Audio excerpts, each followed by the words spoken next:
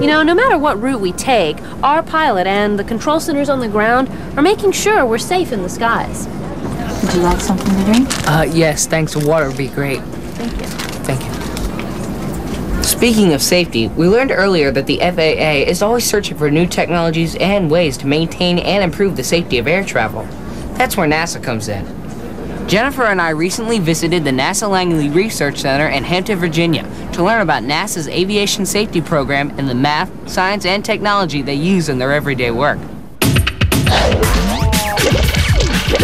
How will NASA contribute to airplane safety in the future? How do NASA engineers use math in their wind tunnel tests?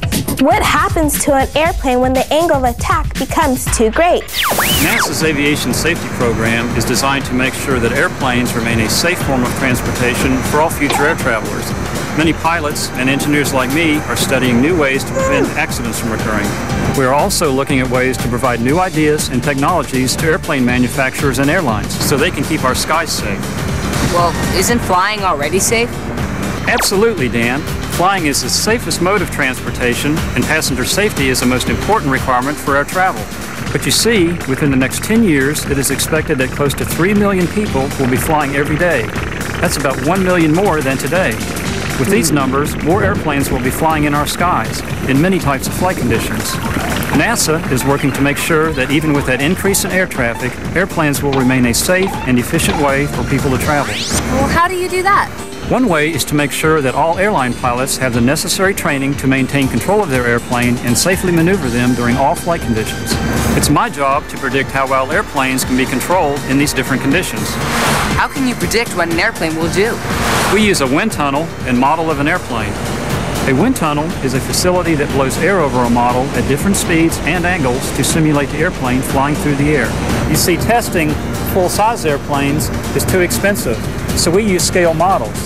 This model is 1/30th the size of the real airplane. 130th.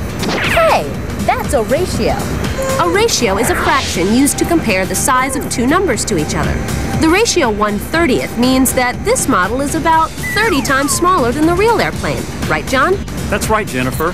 And we use a wind tunnel to test the model in conditions that are too dangerous to test on the real airplane. When we run the wind tunnel at different airspeeds, we move the model so that the wind hits it at various angles, like this. One very important angle we look at is called the angle of attack. Let me explain. When an airplane is flying through the air, the combination of airspeed and the angle of attack produces lift, a force which holds the airplane in the air. In normal flight, as the angle of attack becomes greater, the lift increases. If you have ever held your hand out of the window of a moving car, you can feel this lift as you move your hand.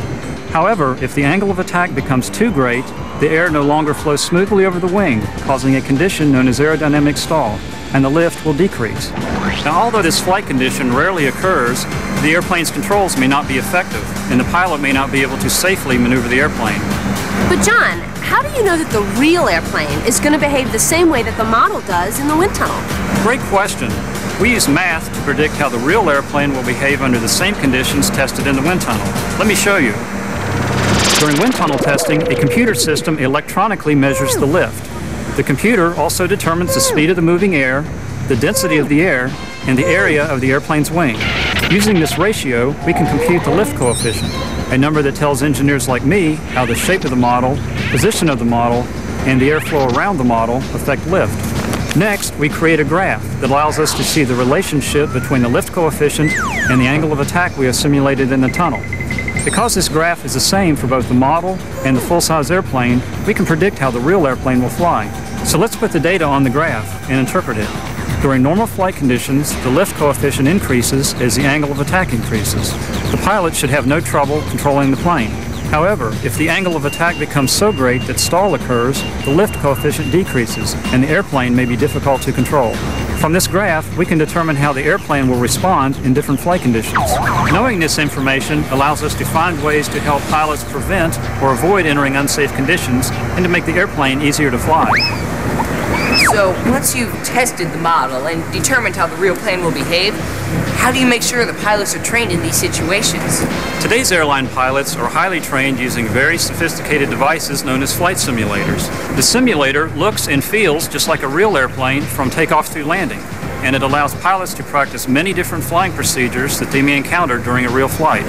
All of the graphs created from the wind tunnel test are given to people whose job it is to input these data into the flight simulator, making pilots feel like they're flying a real airplane. The simulator is designed to respond like the real airplane that has accidentally entered unsafe flight conditions, like the ones we've tested in the wind tunnel.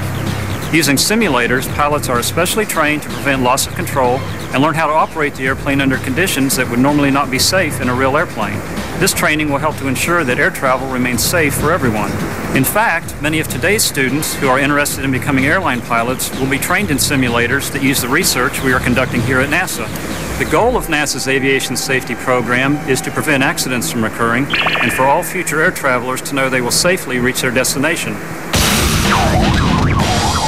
Thanks, John. You know, it's really hey, Jen, cool that- check it out. It's Colorado. It sure is, Dan. Like I was saying, it's really cool how NASA is testing models in wind tunnels and then using technology to help pilots fly safely. And speaking of technology, Dan, didn't you find a really cool CD that takes you on an airplane's journey from gate to gate? I sure did. This CD-ROM lets you meet some of the people who operate the air traffic control system. Join me next in Dan's domain and I'll show you some of the tools they use.